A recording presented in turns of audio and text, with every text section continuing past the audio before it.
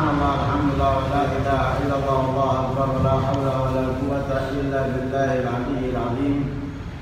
عدد كل حرف كتب ويكتب أبد القادرين ودهر الداهرين سبحانك لا علم لنا إلا ما علمتنا إنك أنت العليم الحكيم. نريد العلم والتعليم والنفع والانتفاع والمذاكرة والتذكير والإفادة والإستفادة.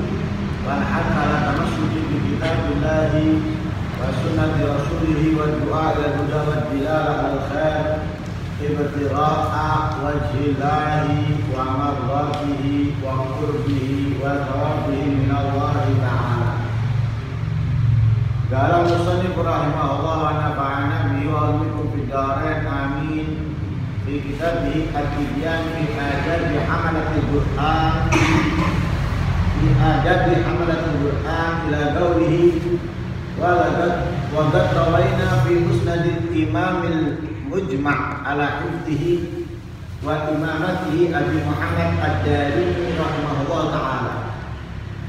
عن علي بن أبي طالب رضي الله عنه أنه قال يا حملة العلم اعملوا به. Ainamal alimu man amila bima alim. Wa wafaqa ilmahu amalu. Wa sayakun aqwamun Yahmiluna ilma la yugawihu tarahiyahu Yukhalifu amaluhu ilmahum Wa tukhalifu sariratahum alaniyatuhum Yajlisuna ilatan yubahi ba'duhum ba'duhum inna rajula la yaqabu ala jalisihi ay yajlisa ila ghairihi wa yada'ahu ulaika la tas'adu a'maluhum fi majalis tilka ta'ala. Wa qad sahha 'an al-imam syafi'i rahimahullah ta'ala annahu qala wa anna hadzal khalqa ta'allamu hadzal ilm yakni ilmahu wa kutubahu. Ala an la yusalla ilayya harfun minhu. Masih membahas di pasal yang ketiga dari bab yang keempat dari kitab At-Tibyan.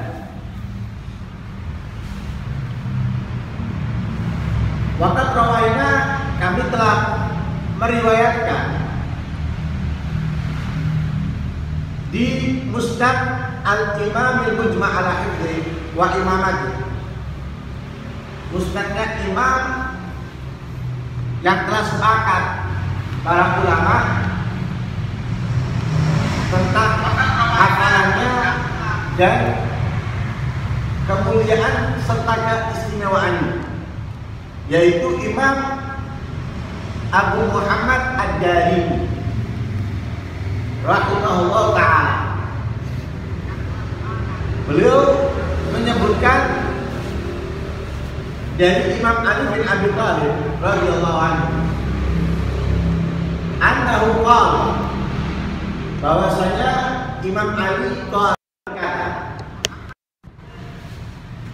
Ya amalatul ilm Wahai pembawa ilmu Para ulama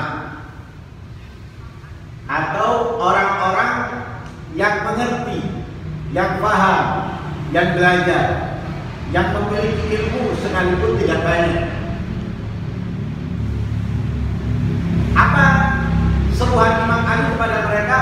Ikmalu B Amalkan ilmu kamu pelajari.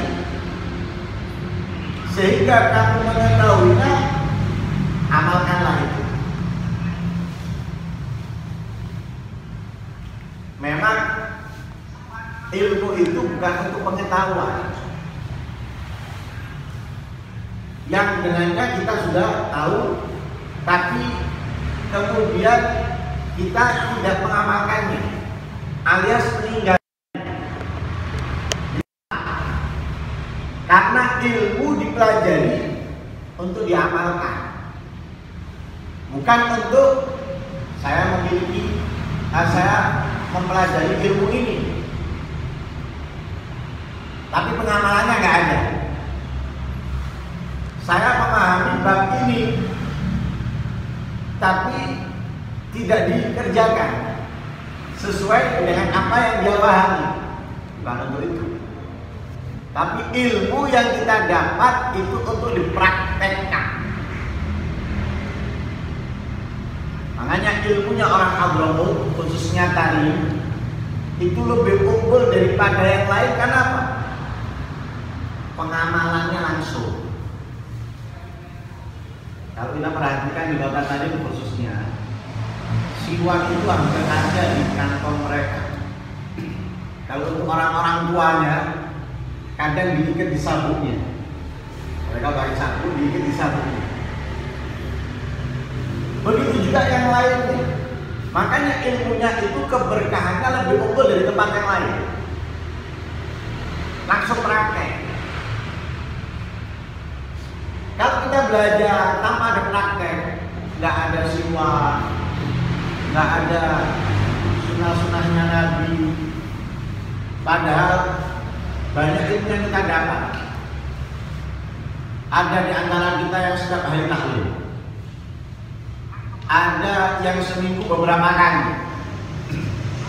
Tapi keluar dari tahlil ini, apa yang didapat tapi nggak ada di dalam kehidupannya dalam kesehariannya. Terus apa faedahnya? Bukan kita kosong dari kemuliaan. Dapat kita berangkat, pulang dapat. Tapi nggak sempurna, kurang besar. Karena apa? Tidak ada pengamalan dari apa yang kita dapat. Tidak ada praktek dari apa yang kita pahami. kita ada pelajaran fikih, kita ada pelajaran tajwid, kita ada pelajaran kitabnya salah. Tapi semuanya itu kalau tidak dipraktekkan lucu, tidak diamalkan, malah menjadi kerja aneh, menjadi bukti buruk. Ketika kita memiliki dan memahami tidak kita amalkan itu menjadi bukti buruk di hadapan Allah Subhanahu wa taala. Karena itu orang yang berilmu tidak mengamalkan ilmunya akan disiksa oleh Allah sebelum menyembah berhala. Seperti yang dikatakan di dalam kitab Subah. Fa'alim bi'ilmi lam ya'mala mu'addabun min qabli awladi wa maka orang yang alim tidak disebutkan alam. Kalau alam itu orang punya banyak ilmu. Tapi alim, alim itu orang yang alim. Berarti dia memahami walaupun satu permasalahan itu dikatakan alim. Tapi bukan alim dalam semua hal, tapi dalam hanya bab itu. Kita belajar bab wudhu, kita pahami, maka kita alim dalam bab wudhu. Kita belajar bab sholat, memahaminya, kita berarti alim dalam bab sholat. Kita belajar ilmu tajwid tentang idhar, faham, maka kita alim. Atau secara keseluruhan kita belajar tajwid, faham, maka kita alim dalam ilmu tajwid. Alim itu walaupun satu permasalahan, apalagi satu kitab, dua kitab, maka alim. Disebut di situ alim. Fa'alimun maka orang yang alim orang yang memiliki ilmu walaupun hanya satu bab atau satu pasal. Di ilmi hilang yang orang alim ini dengan ilmunya tidak mengamalkan. Tidak mengamalkan ilmunya. Maka apa yang dia dapatkan muhadzabun akan disiksa oleh Allah. Di obat dewatan sebelum penyembah berhala. Kita nggak menuntut ilmu di balik kita ancaman. Karena wajib. Apalagi ilmu yang harus kita ketahui. Tidak mencarinya ada menunggu kita, menanti kita. Kita mencari tidak mengamalkan juga siksaan menanti kita. Ya apa? Mau tidak mau kita mencari dan kita mengamalkan. Mau dan mau. Bukan hanya untuk didengarkan. Ilmu itu bukan hanya untuk didengarkan. Seperti radio dan bukan. Atau kita hadir yang menyampaikan bukan untuk dilihat bukan untuk dilihat jadi yang menyampaikan bukan untuk dilihat yang disampaikan tidak hanya untuk didengar tapi untuk dipahami dan diamalkan nah Imam Ali mengingatkan mereka ya apa ilm harus eh ulama eh ustaz eh orang-orang yang belajar amalkan ilmu yang kalian dapat yang kalian pahami, yang kalian mengerti. Kenapa? Fa'innamal alimu man amila bima alim.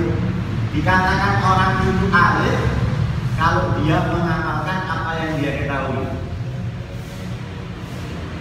Kalau mengamalkan apa yang dia ketahui, baru dikatakan dia adalah orang yang alim. Tapi kalau dia tidak mengamalkan apa yang dia ketahui, maka dia tidak dikatakan orang alim alim Nah orang alim itu apa? Selain dia mengamalkan ilmunya Wa ilmahu amalu Amalnya itu sesuai dengan ilmunya. Ya, Amal perbuatannya sesuai dengan ilmu yang dia pelajari yang dia pahami Pengamalan pengamalannya saya masuk masjid sholat tahiyat. Mengamalkan ilmunya masuk masjid balik kaki kanan mengamalkan ilmunya masuk kamar mandi balik kaki kiri mengamalkan ilmunya sesuai dengan ilmu yang dia pelajari dengan ilmu yang dia ketahui maka dia mengamalkan sholat pakai siwak berarti dia mengamalkan paham ya jadi amalnya cocok atau persis dengan ilmunya atau berjalan bersama ilmu dengan amal atau amal dengan ilmu. Lalu Imam Ali berkata, "Wasayakum arwan yakniruna ilma la yujawizu taraqiyahu." Kata Imam Ali, akan datang akan ada suatu kaum yaitu beberapa orang atau beberapa kelompok yahmilunal ilm membawa ilmu. Dia belajar.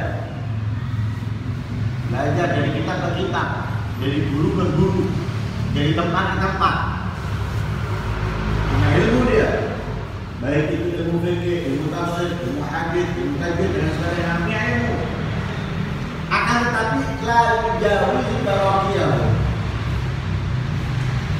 ilmu yang mereka miliki ini tidak melewati atau tidak melebihi tawakiau tulang yang ada di antara apa pundak dan bulu tidak lebih dalam arti apa? Nggak keluar. Hanya ia pahami hanya ia dengar. Tidak keluar.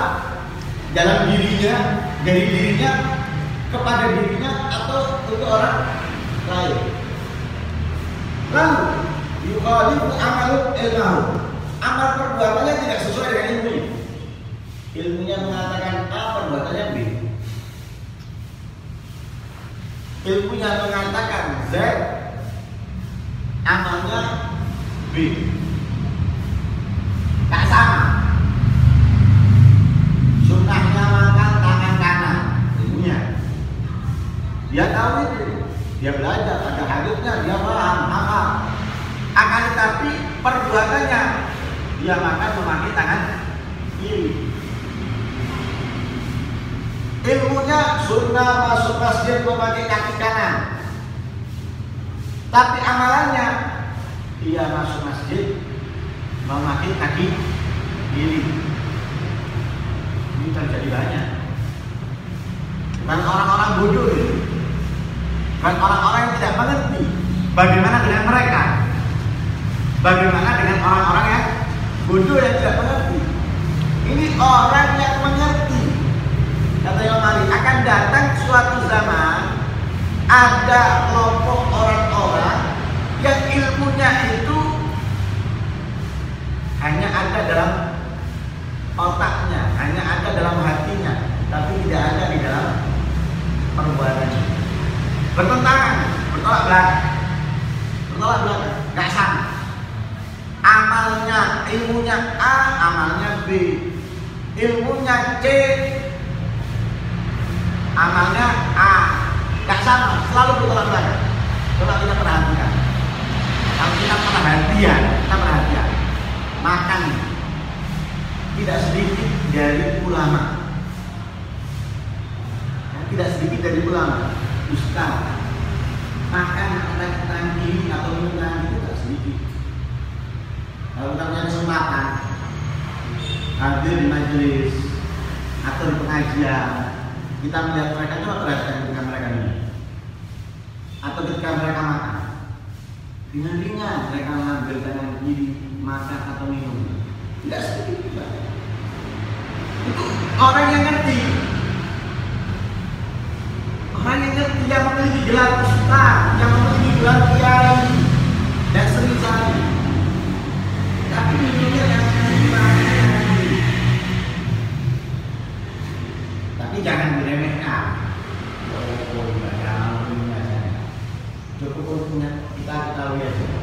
Sebenarnya apa yang dikatakan Imam Ali sudah ulama tidak sesuai. Amal dengan ilmu atau ilmu dengan amal tidak sesuai kemudian waktu walifu sarirat tahun alatnya itu? Bohirnya dia ini tidak sama dengan batinnya tidak sama. Jadi memang beda. Luar dalam tidak sama. Jadi sunnah ilahat yubahi ba'dhum ba'd mereka punya majelis punya majelis tapi hanya untuk bangga-bangga pengajian itu orang ini orang ini sing hadir saat ini hanya untuk bangga-bangga alhamdulillah saya buka pengajian baru di sana. Jamaahnya sekian yang ini ngomong alhamdulillah saya juga punya majelis di pelosok. Yang hadir tidak banyak tapi sudah mulai banyak yang nggak bisa ngaji nggak ngaji. Hanya untuk bangga bangga hanya untuk bangga bangga kemudian hatta inna rajula la yaqubu ala an yajlisa ila ghairi wadahu bahkan di antara mereka itu akan marah. Kalau yang biasa datang kepada dia datang ke yang lain apalagi meninggalkannya bahkan mungkin akan ditinggalkan olehnya tak senang kalau ada orang yang biasa hadir di tempatnya dia kok moro-moro hadir juga di situ? Senang nah, akan ditinggalkan hadir Ulai kan atas ad akmalu di majalis tilka ila Allah Ta'ala Amal perbuatannya mereka itu di majelis itu, di majelisnya mereka, amal perbuatan mereka di majelisnya mereka. Jadi apa pun yang mereka baca, apa pun yang mereka baca ataupun yang mereka pelajari, lantas tidak naik. Tilka ilau dalam arti tidak diterima oleh Allah Subhanahu Wa Taala. Ya, tidak diterima apa yang mereka lakukan. Kemudian Imam Syafi'i. Beliau berkata, wajibku anna hadzal qawqa ta'allamu hadzal ilm. Ada Imam Syafi'i aku ingin orang-orang ini belajar ilmu ini. Mempelajari ilmu ini. Ilmu apa yang dimaksud ini? Yaitu ilmu Allah, ilmu yang dimiliki Imam Syafi'i dan kitab-kitabnya. Jadi Imam Syafi'i itu kepingin orang-orang itu datang kepada dia belajar ilmu yang beliau ketahui, yang beliau pahami dan mempelajari, membaca kitab-kitab. Tapi bedanya dengan orang yang ria, orang yang sombong, atau orang yang membanggakan dirinya, yang seperti ini kan seperti membanggakan diri. Seperti orang datang kepada dia. Tapi Imam Syafi'i itu ingin orang datang kepada dia, belajar ilmunya, mempelajari, membaca kitab-kitabnya, tapi bukan untuk sombong, untuk bangga. Beliau mengatakan? Allah anak Yusuf aku kalau mereka sudah belajar, mengetahui, memahami, jangan dinisbatkan kepadaku walaupun Jadi tidak ingin disebut namanya. Aku belajar kepada Imam Syafi'i. Aku membaca kitab Imam Syafi'i jangan disebut sama sekali masalah. Yang penting pelajari lagi ini. Pelajari dari kitab-kitab ini. Jadi kayak kayak Imam Syafi'i itu ingin mereka selamat, ingin mereka bahagia, ingin mereka tidak sedih, tidak sengsara dengan mempelajari ilmu, walaupun mereka tidak mengingat siapa yang menyelamatkan, tidak berterima kasih kepada yang mengajari sekalipun. Anak-anak begitu. Jadi kayak ini otak ajar. Ke sinilah kamu, aku ajari. Ketika kamu bisa, jangan sebut sudah kalau aku adalah guru atau apa yang ngajari kamu. Bilang yang lain, nggak masalah. Ikhlas. Ya, ikhlas. Tapi kalau nggak ikhlas, belajarlah sama aku. Aku adalah guru. Jangan sampai kamu bilang tadi, kalau nggak manfaat bilang ini ini nak ikhlas.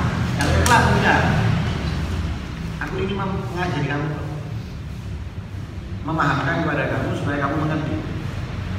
Adapun kamu menganggap aku adalah guru atau bukan, itu nggak masalah. Orang yang lah, ya, seperti relawan, ya, relawan dalam bencana, karena relawan dalam pemilihan.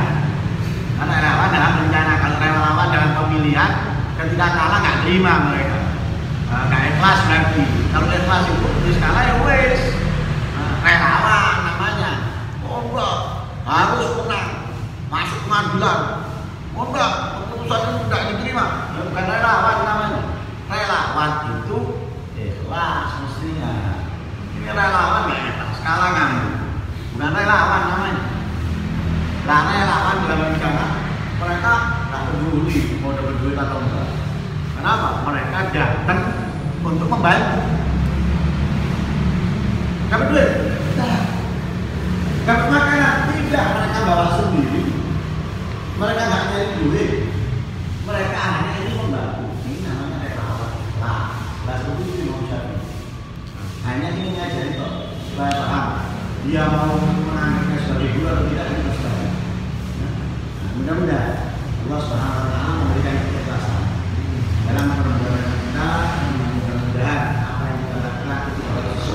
Amém.